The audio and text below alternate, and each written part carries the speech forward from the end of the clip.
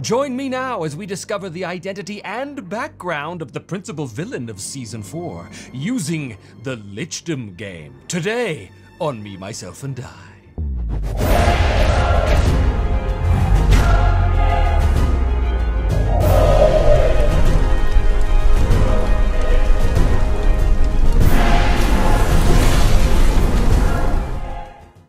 everyone, and welcome back once again to Me Myself, and Die. I am, as always, your humble GM, host, and player, Trevor Devall. Thank you so much for joining me here today. And if you do want to help support the show, please do consider joining us over on Patreon or here on YouTube and becoming a uh, channel member. Uh, that really helps the channel out a lot. Today, we're going to do something pretty cool. I decided I wanted to determine the villain before anything else when it comes to what's going to come in season four. And I thought the best way to do that is to make the villain a lich. Because of course, it's gotta have a lich. Gotta gotta be a lich, right? Gotta be a lich. And just by wonderful coincidence, I happen to have this game called Lichdom, which was sent to me by its author about a year ago. This first chance I've had to ta- take a look at it. But this game is basically, uh, it's kind of like a journaling game, a story game, role-playing light kind of thing, uh, where basically you tell the emergent story of a sorcerer who's trying to ascend to lichdom or godhood if they get really lucky. And I thought, what a great tool to use to, to play through to see what our villain of season four is actually going to wind up looking like. So that is pretty cool. But before we get into this at all, I do want to determine the name of the villain. And to do that, I'm going to go to the Raging Swan Press GM's Miscellany Dungeon Dressing System Neutral Resource. And I'm going to go all the way up to the dungeon names because there's some really cool names here. So I'm gonna roll a prefix and I'm going to roll the main name and we'll see if anything cool comes up. So what do we got here? 51 on the prefix table is Mot, M-O-T. And then let's do the other one, 87 down here. Motzaroth. Oh, that's kind of cool. Motzaroth. okay, very, very cool. Going to keep this handy. I'm also going to keep the Mythic Game Master Emulator Second Edition handy, just in case I want a little extra details or inspiration or anything like that. So the first thing we do is we determine a little bit about who this sorcerer is in the Seeds of Ambition section. So, how did you become a sorcerer? I'm gonna roll a handy dandy d3 here and see what comes up. One, my arrogant old master taught me with pain, but I took my revenge after thanking him for the cruel lessons. That sounds appropriately lichy. I destroyed him. Destroyed, killed, banished to the outer darkness, who knows? What happened to your family? Another one. Some still live, but they are ashamed of what I have become. What early memory will stay with you forever? Two. The unbearable thirst while crossing the red wastes where demons abound and the scarce vegetation is carnivorous. Ooh, the red wastes, I may need to add that to the world, which, by the way, I've decided on a name for. The name of this world is, thanks to a Patreon poll, thanks for everybody who uh, participated, The Broken Empires. That is the name of the world in which Me, Myself, and Die takes place. And now there's a place called the Red Wastes. Huzzah! Where do you currently live? This is a big one. One, as the advisor of a noble lord or a tribal chief whom I manipulate to my advantage. This is the Lich as a sorcerer. So this is where this character begins at the beginning of this game, where he ends up will hopefully be as the antagonist of season four. I'm imagining that this character exists in a cultural area that is quite different than anything we've seen on the show before. So I'm sort of imagining kind of like a desert setting, almost like a an Arabian-ish kind of setting, maybe. Uh, that might be cool. Something a little more sword and sorcery, like the city of Shadizar in, in the Conan lore. Something like that, I'm thinking. So I think that our guy, Motzaroth, is the advisor to um like a vizier or something like that. The vizier of What's the name of the city? Uh, what's something appropriately Arabic sounding? Ah, well, let's go to Mythic Emulator and come up with a name. Uh, An, A-N, 77. Ansha. An, Ansharir. I like that. Ansharir. So that is a city at the edge of a great desert. What are we gonna call it? The, I don't know, the, the Red Wastes. The Red Wastes. How do you look? How do you look? Three. Furs protect me from the cold of the night, bones carved with runes hang from my hair, and the smell of smoke permeates my ragged clothes. Wow, kind of tribal. Smell of smoke and rotting meat. Who was your worst enemy? Who is your worst enemy? Who was it before? And how did you destroy them? Let's have a look here. This tells us a lot. My old friend, almost a brother, who shared my passion for mastering the arcane. We became enemies due to our very different opinions about the purpose of magic and the limits of morality. Great, so that tells me that this guy might have a moral center still swimming around in his blackened heart at some point. Interesting. What is the old friend's name, and is that old friend still alive? That's actually a good question. S. Esfer. Esferen. It was his name. Why do you look for immortality? Ah, the old question. Why? Why, Lich? Why? One. The short span of a mortal life is not enough to uncover the most incredible secrets of the cosmos. So here's how this works. There's this handy dandy Doom deck. It's a standard deck of cards, except this particular deck was specifically made for Lichdom, so check that out in the uh, link below over at DriveThruRPG if you uh, pick it up through there, uh, through my affiliate link, then that also is a good way to help support the channel.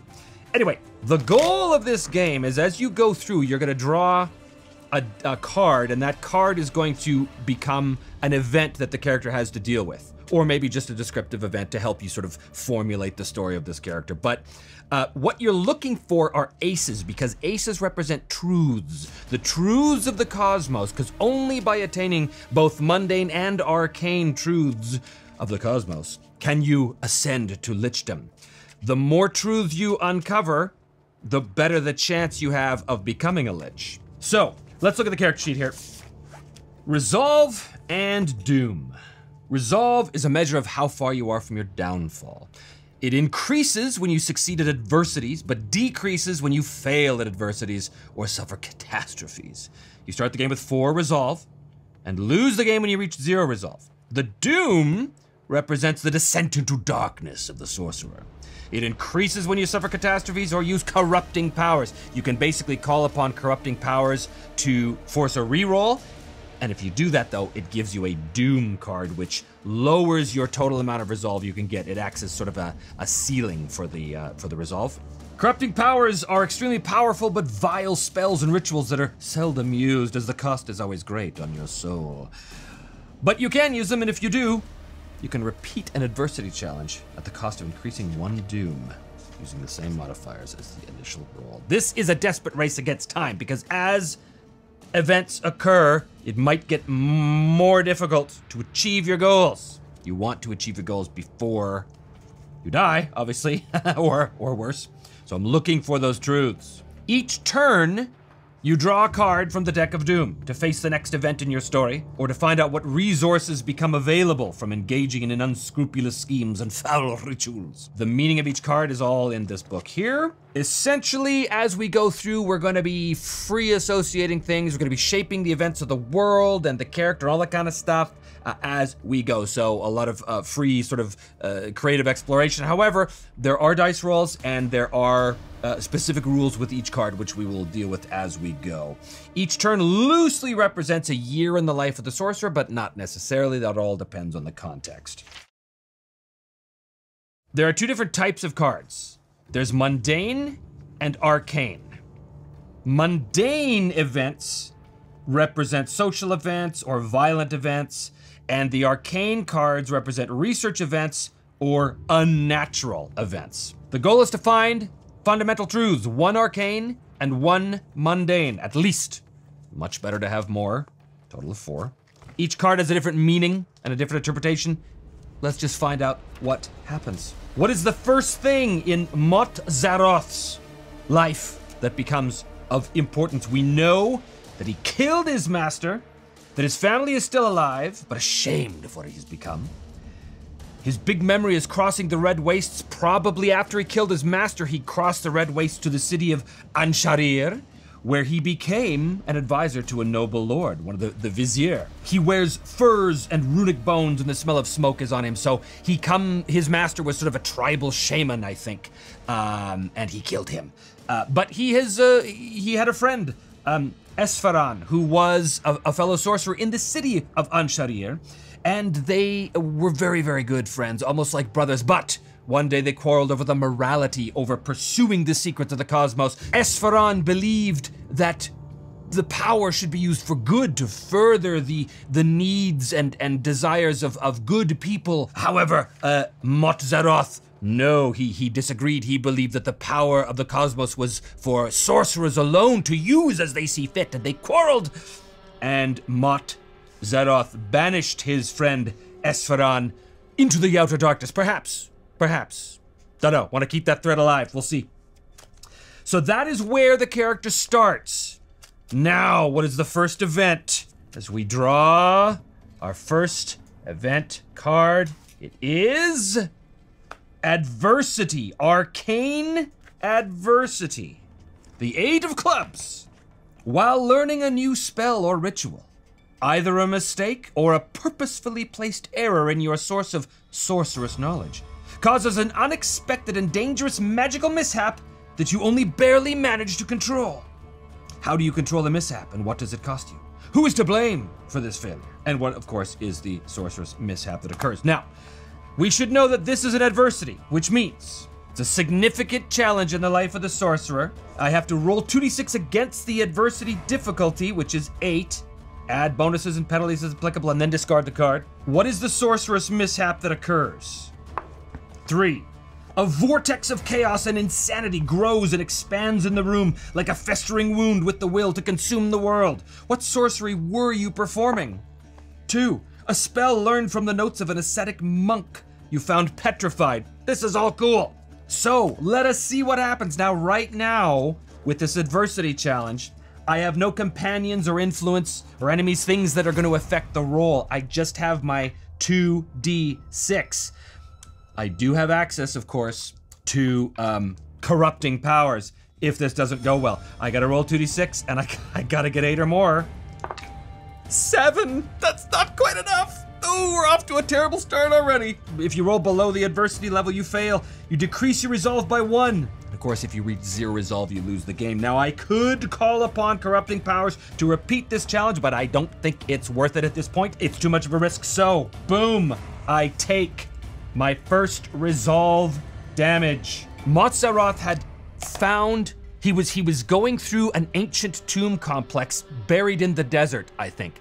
And there was a it was a, a temple, an old temple. There was a group of ancient ascetic monks that were in quiet contemplation of the universe, trying to unlock some of the secrets. And some of those monks, it is said, had uncovered certain truths and, and powers. And so Motzaroth had led an expedition to the tombs. He had uncovered some of the spells and he greedily took some of that that information back to his tower where alone in the tower he tried to cast a spell but little did he know that the monks had laid a careful arcane trap on anyone who would dare to use this power for something other than its intended purposes. And what it did was cause a massive vortex of chaos and insanity to burst out of the tower. That will have consequences i think in this case the consequences will be determined by the draw of the next card Oh, a scrying, arcane scrying. This is really cool. They represent special opportunities for your sorcerer to change future events through mundane scheming, or in this case, arcane scrying. You keep the card to use whenever you wish, but only after completing an event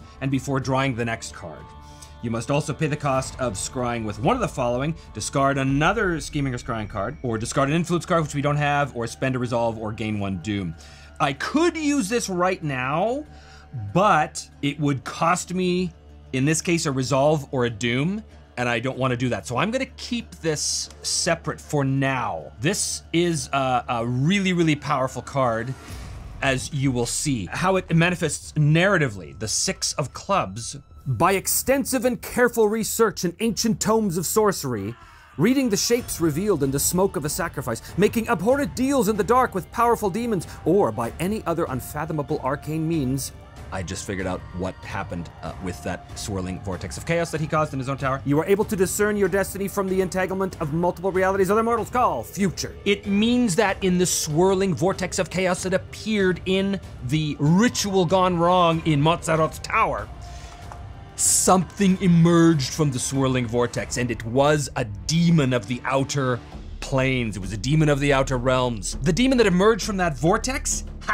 has some description here, which is actually a great little table in this book. So let us figure this out. This is so cool. Its name was Satubel. I like that. Satubel the Rotting. Oh, so cool! Its appearance was a half serpent. It is known as the Lord of Hate and Discord. And as it turned out, Motzaroth made a deal, a bargain with the demon. He basically tricked the demon into believing that he had summoned the demon forth himself and on purpose, intending to free the demon to roam the world. That was the only way that Motzaroth knew that he would survive the encounter. And in exchange for its freedom, the demon offered Motzaroth one glimpse of prophecy. And with that, the demon fled the tower, causing and wreaking unspeakable havoc and chaos within the city of Asharir at the edge of the Red Wastes. But that was okay with Motzaroth because he got the gift of prophecy, which he can use later. I think some time goes by, a year goes by. And what happens? Mundane plot. Mundane plots work against you, such as a conspiracy to end your life, or enemy petitions to responsive gods to halt your progress and thwart your ambitions. Keep the card visible on the table. The next time you have to roll a challenge of the same nature, so the next time I have to roll a mundane challenge, apply a penalty of minus two and discard the card. So basically, whatever mundane challenge I next meet, this plot comes into effect. I can't scry yet because I don't want to take any damage and I don't I, I don't have any further influence that I can spend uh, bend. So, um, whatever happens, again, I don't know the details of this, so I think that there are mundane enemies plotting against Motzaroth, perhaps enemies that know that he was responsible for releasing the demon into the city. As much as he tried to keep that secret, I think maybe there were some, uh, maybe other members of the Vizier's court that knew that he was responsible for this and are now plotting against him. Cool. What is next in Motzaroth's story? An event, an arcane event. So these are purely descriptive events. Your search of forgotten lore in ancient ruins and dusty tomes takes you to communicating with elder gods, long forgotten by other mortals.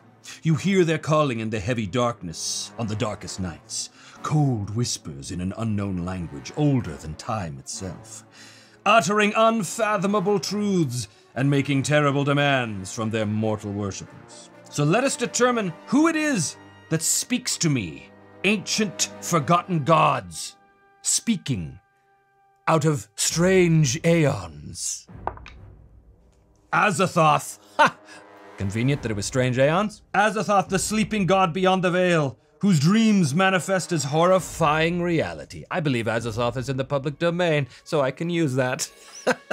the spell that he uncovered in the desert from the group of ascetic monks, they were divinely inspired. They thought that they were quietly contemplating and and coming up with this sort of understanding of magic through their own quiet contemplation. But in fact, it turns out that they were slowly and secretly being inspired from beyond the veil by Azathoth, the sleeping god, who in fact was twisting their knowledge and twisting their magic to cause horrible things to happen. So, as it turns out, when the swirling vortex of chaos manifested in Motzaroth's tower, it wasn't because the ascetic monks had set a trap. No, it was just a result of Azathoth's twisting of magical energies. And when Motzaroth figured this out, he knew he had to make contact, and contact he did eventually make.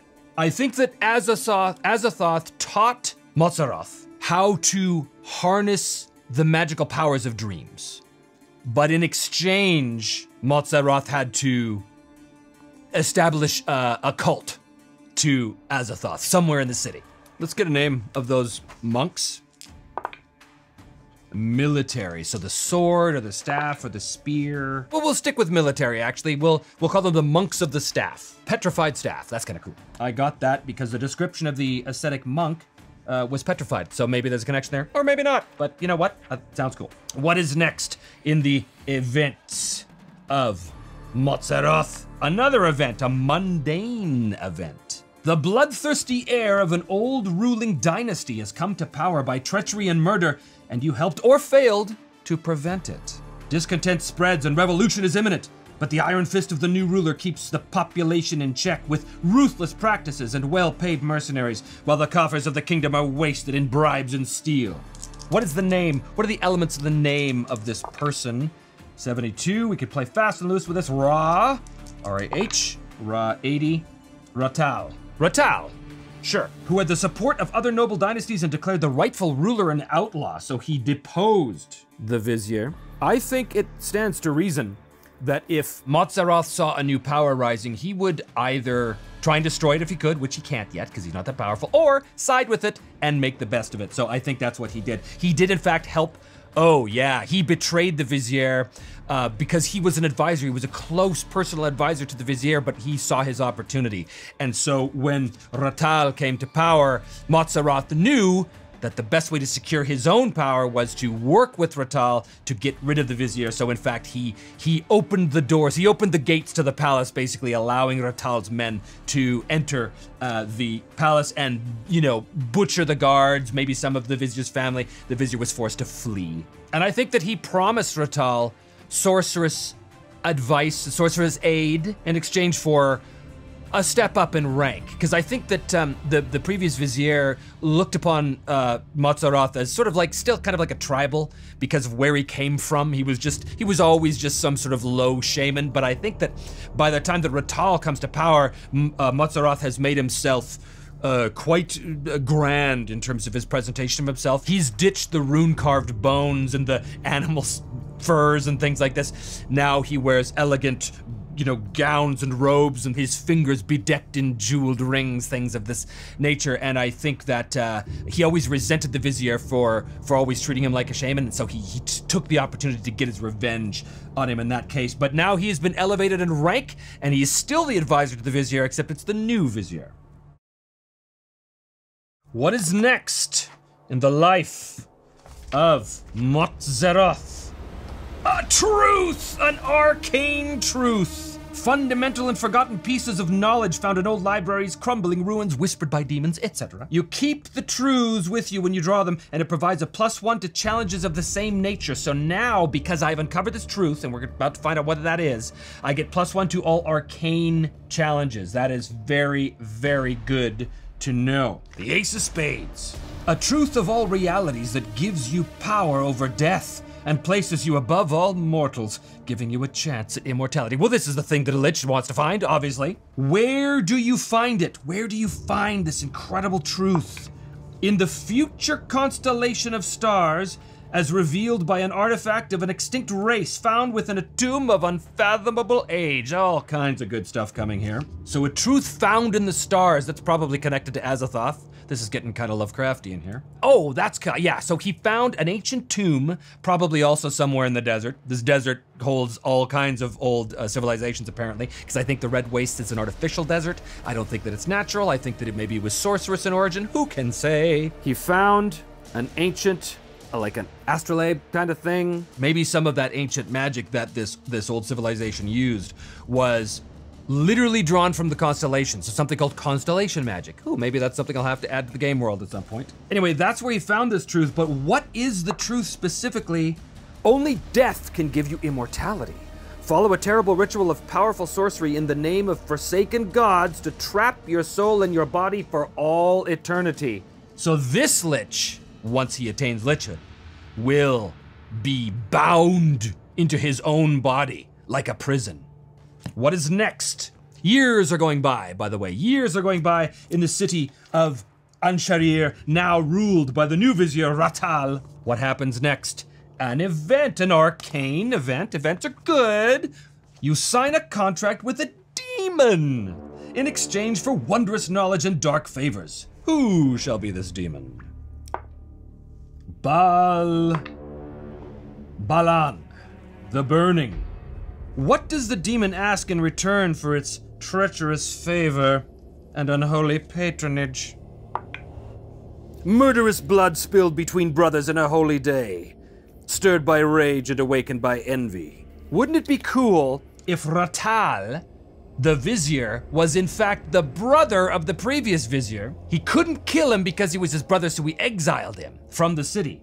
But now, years later, Balan the Burning has decided that in order to give Motzaroth what Motzaroth wants, he knows that Motzaroth has a personal connection to both previous vizier and current vizier, and he demands that these two proud rulers battle to the death in a temple on a high holy day. And so, Motzaroth arranges a situation. He arranges the old vizier to be secreted into the city again, only to be ambushed in the temple to some, you know, god of the harvest or something.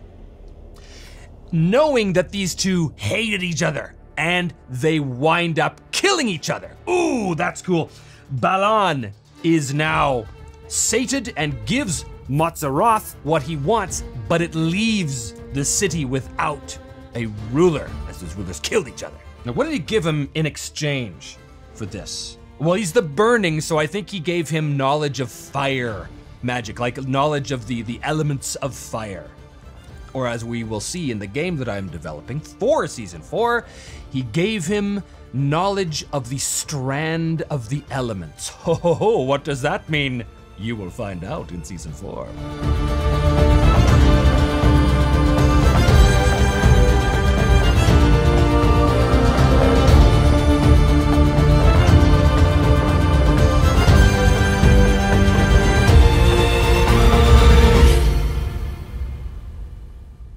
where he became an advisor to a noble lord, one of the, the vizier. I don't know how to say that. Vizier? Vizier? Vizier?